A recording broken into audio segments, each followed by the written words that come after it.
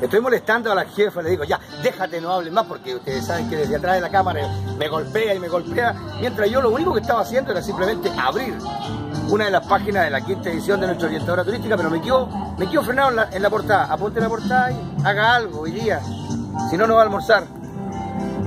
¿Se da cuenta?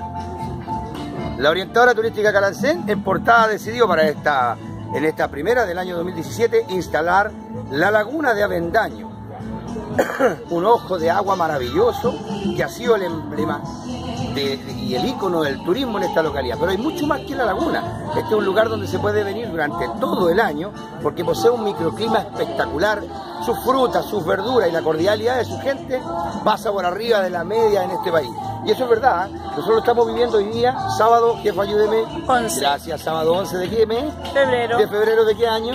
2017. Del 2017, ya. Estoy abriendo acá y mira, Vamos a ir un ratito más a hacer nuestros despachos desde la Laguna Vendaño con cuánta gente está ahí. Aquí los licores se los encargo. Yo creo que a futuro el Valle del Itata con o sea, con Rankin y con Portezuelo, que vengan sus espumantes y sus vinos patrimoniales.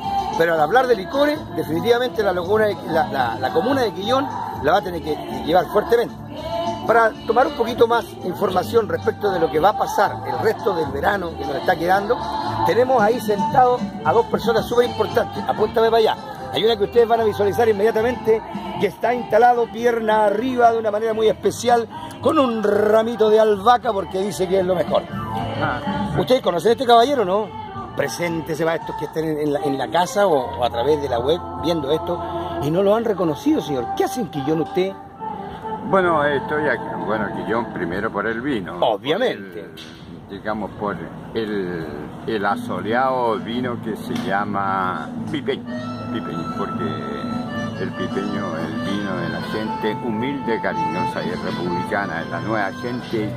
Entonces estamos en el centro del pipeño acá, entonces por eso estoy aquí, me llamo Dioscoro Rojas, soy el gran guaripola de los huachacas, ese término oficial protocolar.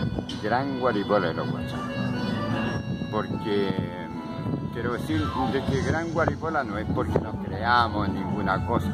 Lo que sucede es que cuando empezamos nosotros, el diario La Cuarta hace muchos años, 20 años más o menos, empecé a decir que yo era el guaripola de los guachaques, el guaripola de los guachaques, que es la primera vez que se empezó a utilizar ese término pero como la había la gente, decían giles de dónde será, que, hay de allá, que el está de allá. Hasta que hubo el rumor de que nosotros veníamos, de los masones nos habían captado y que nos habían llevado para Francia a hacer un estudio y habíamos vuelto para hacer la cumbre guachá. Entonces nosotros dijimos, bueno, si la cosa es así, como la masonería, nos colocamos gran guaripón, parte de la y andamos con mita y todas las cosas, por eso el nombre del Gran Guaripola, pero también porque vamos teniendo guaripola en todas las regiones del país, entonces por eso, no es por agrandado ni Así que aclarado eso. Está haciendo la bendición, le quedó clara, mire, que ya la gente, mire, ¿sabe por qué peleo con esa mujer que está atrás? Primero porque se dice jefa. Ahora me voy a, hoy usted me puede, me puede nombrar usted me podría hacer un, nombramiento oficial en cámara, venga para acá, porque a mí yo me tengo que aprovechar de las circunstancias. Una de las cosas que pasa con Calancén Formal, que soy yo, es que soy huachaca por naturaleza. Sé arar, rastrear y cruzar. Conozco de la hojota y tengo que andar con el alicate, cuando yo era joven, andar con el alicate, porque si el alicate la hojata se echaba a perder, la Firestone con el alicate se arreglaba, ¿cierto? Bueno, y, de mi común soy huachaca. Entonces mi señora ese me reta porque yo me sobreexcedo en ese huachaquerismo.